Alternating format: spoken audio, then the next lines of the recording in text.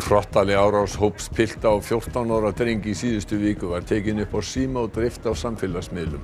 Árásin var gerð á fjölförnum stað en enginn kom drengnum til hjálpar. Tilboð Reykjavíkuborgar um hækkun lægstu launa er um 50.000 krónum lægra en kröfur Eflingar. Félagar í BSRB hafa samþykkt að fara í verkfall í mars. Tíu létu lífið í skotárásum í þýsku borginni Hanau í gærkvöld.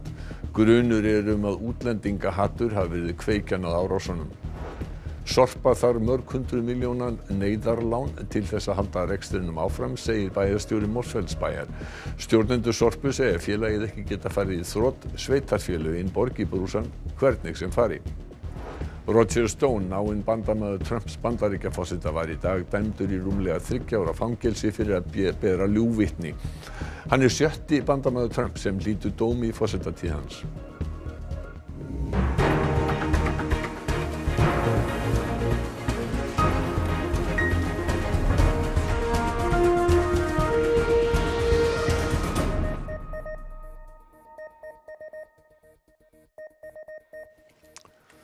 Gott kvöld. Myndskeið sem sýnir hóp unglinga ráðast með höggum og spörkum á 14 ára drengi í síðustu viku hefur verið í dreifingu á samfélagsmiðlum.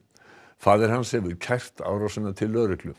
Við vörum við myndunum sem að fylgja þessari frétt. Fréttastofa hefur undir höndum myndskeið sem sýnir hrottalegt ofbeldi hóps drengja gegn einum 14 ára pilti. Árásinn var gerð við byðstöð Strætós í Hamraborg í Kópavogi í síðustu viku. Fjölmargir voru viðstattir en ekki að sjá að neitt reynið að stöðva ofbeldið.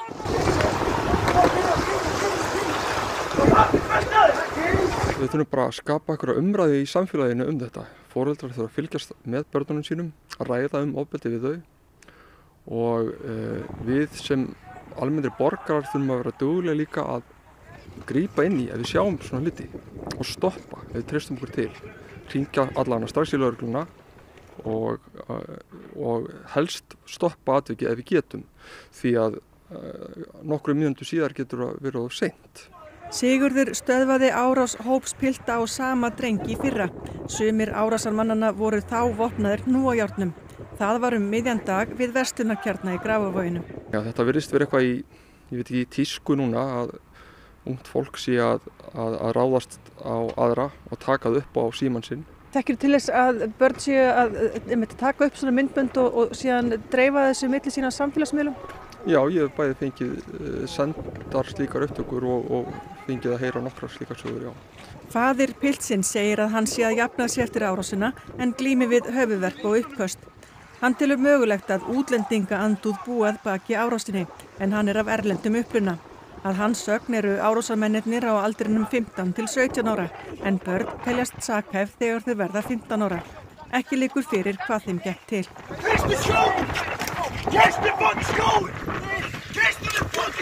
Þetta eru oft krakkar sem eiga erfitt og það er engum uh, greiði gerður með því að vera að gera lítið úr þeim eða að gera þau að einhverjum illmennum. Þetta eru bara einstaklingar sem eiga erfitt og gerendunir þurfa ekki síður aðstóð heldur en þeir sem að vera að verða fyrir þessum árásum. Aldrei verður við fokkin kraft, fokkin aftur, skeru af, fokkin fokkin. Jón Magnús, þegar þú sér svona myndskeið, hver eru þín viðbröð? Mín viðbröð eru náttúrulega eins og annara foreldra að mér döðu bregður við að sjá þetta. Ég á börn á þessum svipuðum aldri. En til viðbútar sem læknir á bráðamóttökunum þá bregður mér vegna þess að ég sé hversu alvarleg þessi árás er. Hvaða afleiðingar geta svona spörk og högg haft? Svona spörk og högg geta haft mjög alveglega áhrif. Við hefum jafnvel séð döðsföll í, í kjölfar svona árasa. Heldur að unglingar sem að beita svona afbeldi að þeir séu meðvitaður um það hversu alvarlega rafleiðingar það geta verið?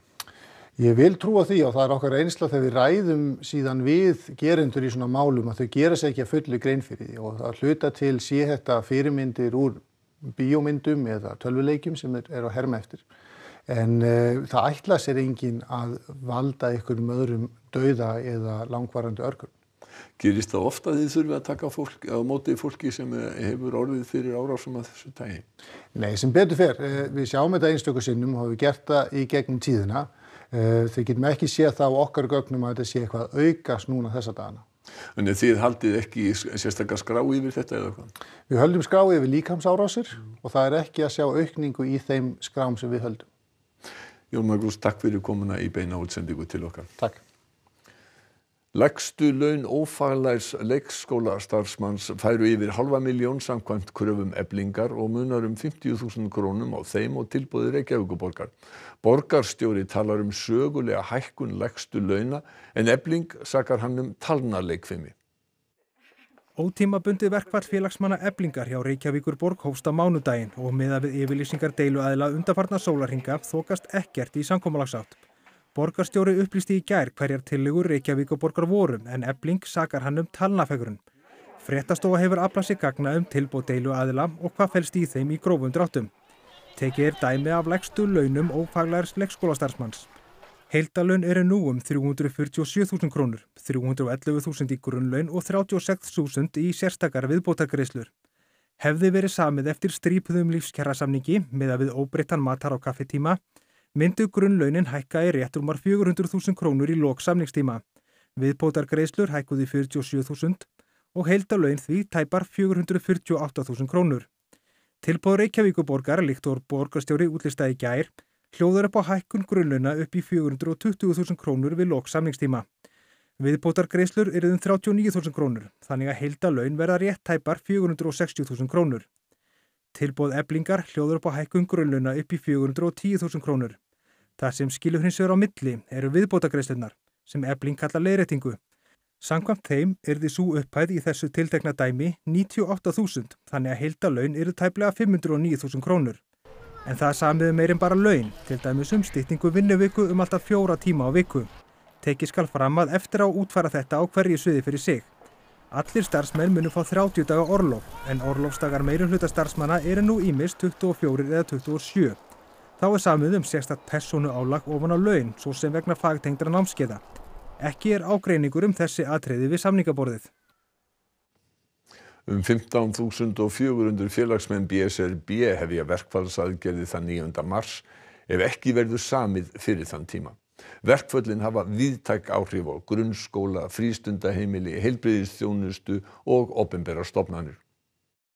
Félagsmenn í 15 aðildarfélögum BSRB samþyktu að búa til verkfallsaðgerða. Ekki var nægt þáttaka hjá starfsmannafélagi Garðabæjar og atkvæðagreisla hjá landsambandi slökkulis og sjúkraflutningamanna stendur enn yfir. Verkfallsaðgerðnar hefjast 9. mars og eru tvískiptar. Starfsmenn grunnskóla og frístundaheimila á höfuborgarsvæðinu fyrir utan Garðabæ fara í ótímabundi verkfall sem og starfsmenn ákveðinastofnana til að mynda hjá skattinum og síslumannsembætum. Aðrir hópar fara í tveggja sólarhinga verkfall einu sinni viku frá 9. mars fram að mánaðamótum en þar er um stærri hópa ræða. Þetta er þorri félagsmanna hjá ríkinu, sveitarfélagum og Reykjavíkuborg. Semjist ekki fyrir 15. apríl hefst allserja verkfall. Áhrifin verða viðtæk enda félagsmenn BSRB um 15.400 talsins. Ótímabundnu aðgerðnar hafa mest áhrif á grunnskóla, frístundaheimili og valda stofnanir en tímabundnu verkföllin koma niður á heilbreyðisjónustu og velferðarþjónustu. Starfsemi landsbítalans mun raskast verulega og hættir við að sundlaugum og íþróttamannverkjum verði lokað. Fram til þessa hefur stærsti hluti viðrenna snúist um styttingu vinnuviku hjá vaktavinnu fólki en ágreiningur er um fleiri atriði, svo sem launa og orlofsmál. En hefur ekki verið búið til fundar millir deiluaðila. Það hefur verið mikill seinagangur heilt yfir og ég hef ekki fundið breytingu á því á undanförnum dögum. Ég vonaði þetta að þessi tilkynning okkar um fyrirhugaðar aðgerðir sem að barst á viðsemundum í dag verði til þess að hleypa krafti og auka samningsvilja þeirra. Sveitafélagin 6 sem standa að sorpu bera ábyrð á rekstrinum og því getur félagið ekki farið í greiðsluþrótt segja forsvarsmenn þess. Bæjarstjóri Mósfellsbæjar sæði á fundi í gerkvöld að sorpa væri á leiðið í þrótt og þyrsti 600 miljóna króna lán til að halda rekstrinu áfram.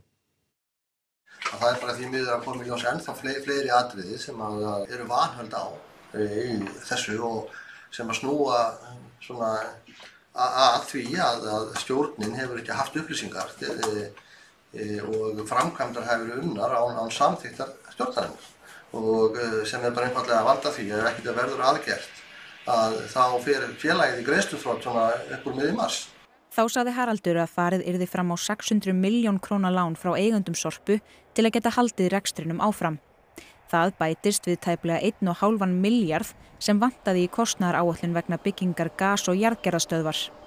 Innri endurskoðun Reykjavíkuborgar byrti í janúar svarta skýrslu um framkvæmdinnar og í kjölfarið var Byrni Haldórsinni framkvæmdastjóra Sorpu sagt upp störfum.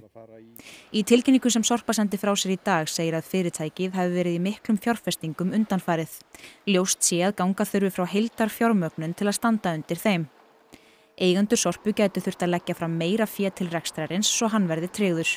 Helgi Þór Ingarsson, starfandi framkvæmdastjóri Sorpu, sagði í hátegisfréttum RÚV að hugtækið greiðsluþrótt eigi ekki við, þar sem Sorpa sé byggðarsamlag.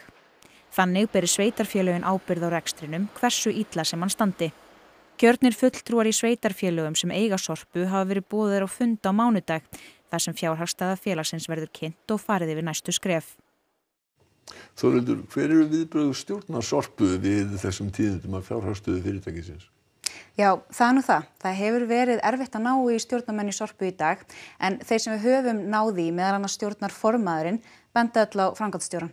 Og framkvæmdastjórun er nýr ráðin, tók við fyrir fáum dögum? Já, hann er búin að vera í þessu starfi í fimm daga.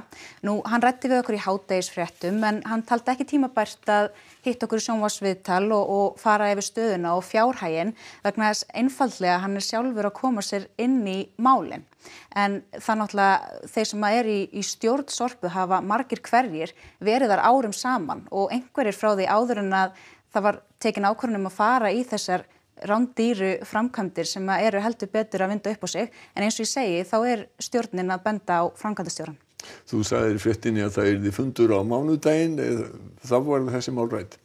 Já, þessi mál verða rætt með kjörnum fulltrúum á fundi á mánudaginn í Fagralundi Kópói og samkvæmt okkar heimildum verður farið ítalega yfir fjárhástöðuna á þessum fundi þannig að það málega líkur að því að fjárhagstæðan sé skýr og liggi fyrir á þessum tímapunkti en aftur á móti höfum við á fréttastofunni óska eftir upplýsingum um stöðuna eins og hún er en það hefur ekki gengið enn.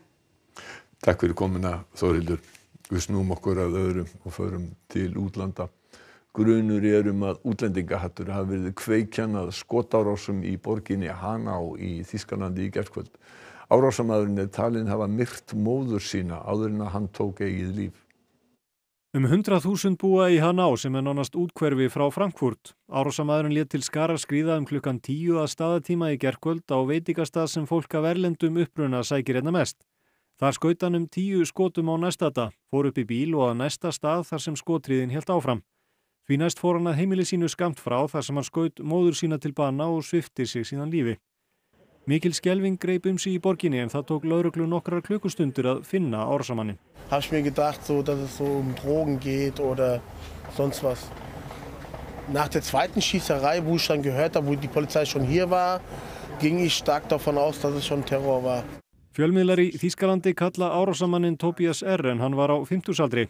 Bréf fannst á heimili hans þar sem hann játar á sig verknaðin auk fleiri gagna sem benda til að hann hafi aðfylst öfgaskoðanir. Þeir sem letu lífið við veitingastæðina voru allir þýskir ríkisborgarar af erlendum uppruna en þetta er þriði árásin í Þýskalandi að svipuðum toga á tæpu ári. Rassismus ist ein Gift. Der Hass ist ein Gift. Und dieses Gift existiert in unserer Gesellschaft und es ist schuld an schon viel zu vielen Verbrechen. Von den Untaten des NSU über den Mord an Walter Lübcke bis zu den Morden von Halle. Forsætisráðara segir að viðhórsbreyting sé nöðsynleg til þess að takast á við kynjaskiptan vinnumarkað á Íslandi. Eftir setningaræða hennar á jafnbrettistingi í dag notuði félagsmenn eblingar til tækifæri til þess að ná eirum ráþeira í kjarabarótani. Katrín Jakobsdóttir sagði í ræðu sinni að þegar hort væri til verkaliðsbaráttunar kæmi greinilega fram hversu kynjaskiptur vinnumarkaðurinn væri á Íslandi. Velkomin öll. Það er ekki vandi sem verður leistur með einum kjarasamning.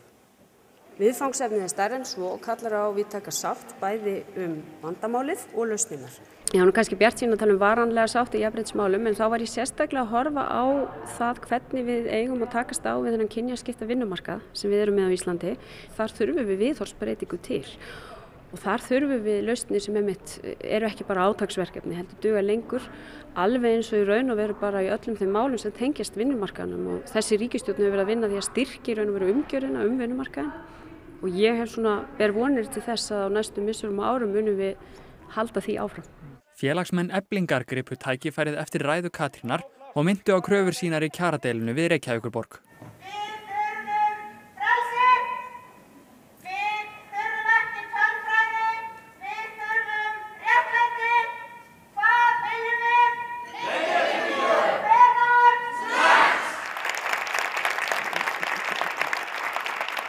Þessi mótmæli settu svipsin á þingi og það er bara eðlilegt í ljósi þeirra stöðu sem er uppi.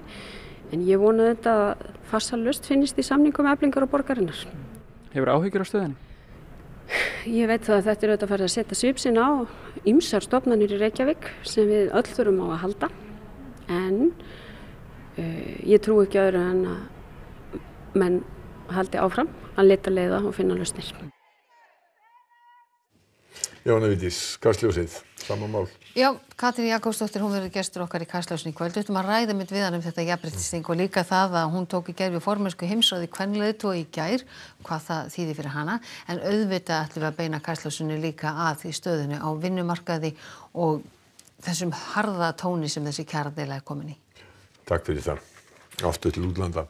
Roger Stone, náinn bandamaður Trumps bandaríkjafósita var í dag dæmdur í þryggja ára og fjóra mánuða fangelsi. Hann var dæmdur fyrir skjálafals tilraun til að hafa áhrif á vittni og ljúa þingnefnd sem tók þátt í rannsókn á afskiptum rússa af fósitakostningunum í bandaríkjunum 2016. Hann er sjötti bandamaður Trumps sem hlýtur dóm í tengslum við rannsóknina. Í síðustu viku sjóðu fjóri saksóknarar sig frá málinu eftir gaggrinni frá Trump og afskipti dómsmálar á þeirra bandaríkjana sem vildi vægari refsingu. Trump hefur sagt að demokrater, til dæmis Hillary Clinton, hafi gerst sekir um hið sama en sloppið án refsingar. Hann hefur gefið í skínan munni náða Stone. Iðnaður og viðskiptaráðherra vill skoða hvort sala uppruna ábyrgða hreinnar raforku hafi skaðlega áhrif á samkeppnishæfni Íslands. Reynist svo vera komið til greina að landsvirkjun hætti að gefa út uppruna ábyrgðir. Þórdís Kolbrún Reykjörg Gilvadóttir sagði í óundurbúnum fyrirspurnatíma á Alþingi í morgun að uppruna ábyrðir væri mjög umdeildar og almenningur ekki hrifin að þeim. Kveikur fjallaðu um málu á þriðudaginn. Þórdís Kolbrún segir að markmiðið með kerfinu sé að gera hreina raforku framleiðslu físilegur en ella og það hefði skilað árangri í Evrópu.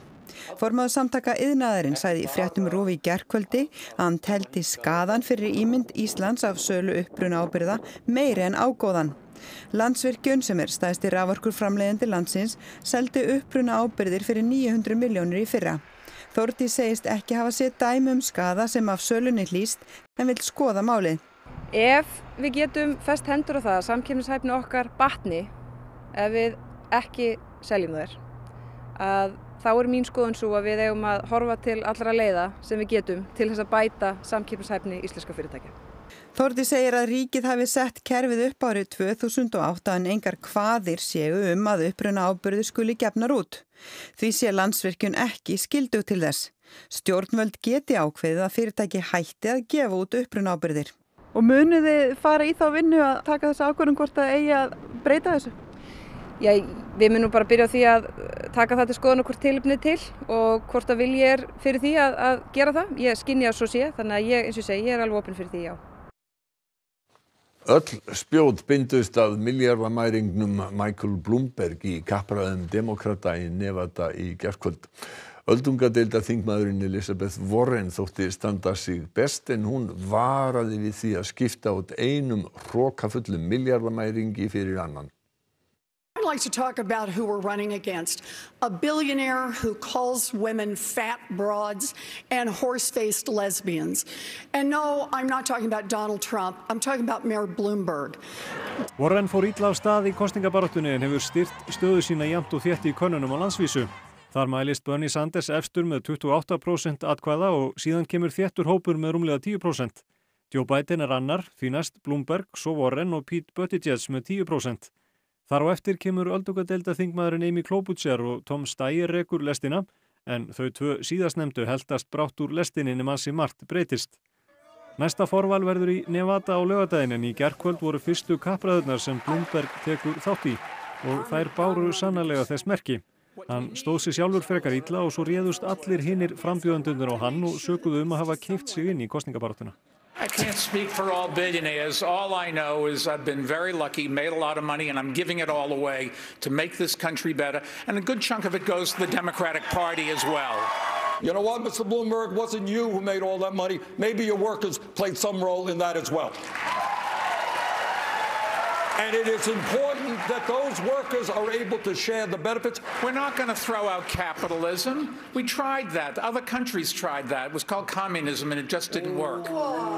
It's between a socialist who thinks that capitalism is the root of all evil and a billionaire who thinks that pa- uh, money ought to be the, the root of all power. Let's put forward somebody who actually lives and works in a middle class neighborhood in an industrial Midwestern city. Let's put forward somebody who's actually a Democrat. Að það allt öðru.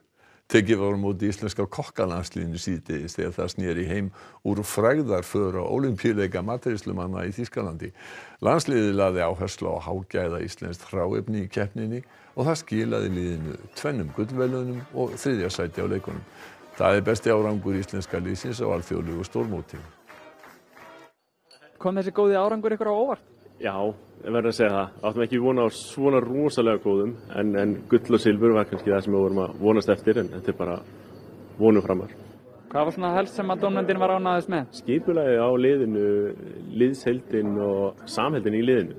Það er bara í þessu eins og öðrum keppnisgreinum að, að, hérna, að að vera með besta liði og þetta er sko heldur betur frábært lið og sem vinnur vel saman frutan að búa til að svakalega góða mat.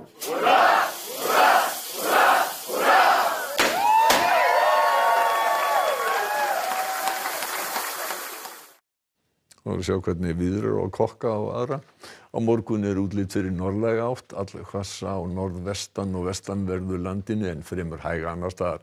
Áframhaldandi snjókoma eða jél norðan til og við suðuströndina en úrkomu lítið á vesturlandi og austfjörðum. Og Elin Björk Jónasdóttir við frængur fer með við frittir að loknum íþróttum og það er Haugur Harðarsson sem sér um íþróttirnar í kvöld. Ísland hófi kvöld keppni nýri fórkeppni fyrir HM 2023 í Körupólta Karla. Vængbróti lið Íslands heimsótti þá lið Kosovo til Pristínu. KSI skoðar fjóra kosti sem komið til greina í framtíðar uppbyggingu á þjóðuleikongi Íslendinga í Laugardal. Og Jose Mourinho, knaspinstjóri Tottenham, var afar ósáttu við spurningu bladamanns eftir tap í meistaradeildinni í gær. Great question, mate. Helstu aðtriði fréttanum. Hópur pilta riðist með höggum og spörkum á 14 ára dreng á fjölförnum stað í síðustu viku. Yfirlæknir bráðalækninga segir að slík, slík högg geti litt til örkumls, örkumla eða dauða. Tilbúð Reykjavíkuborga um hækkun lægstu launa er 50.000 krónum lægra en kröfur eflingar. Félagar í BSB hafa samþykkt að fara í verkfall í mars. Tíu letu lífið í skotárásum í Þýskuborginni Hanau í gerkvöld. Grunur er um að útlendingahattur hafi verið kveikjan að árásunum. Sorpa þarf mörg hundruð miljóna króna neyðarlán til að halda rekstrinum áfram, segir bæjarstjóri Mosfellsbæjar. Stjórnendur Sorpu segja félagið ekki geta farið í þrótt, sveitarfélögin borgi brúsan hvernig sem fari. Roger Stone náinn bandamaður Trumps bandaríkjaforseta var í dag dæmdur í rúmlega þriggja ára fangelsi fyrir að bera ljúvitni. Hann er sjötti bandamaður Trumps sem hlýtur dóm í forsetatíð hans. Fréttatímanum er að ljúka þeir næstu verða í sjónvarpi útvarpi klukkan 10 í kvöld og vefur okkar rú.is er uppfærður allan sólarhingin og svo minnum við einni á rúvappið það sem er að finna fréttir, fræðslu og skemmtiefni, gammalt og nýtt. Verðið sæl.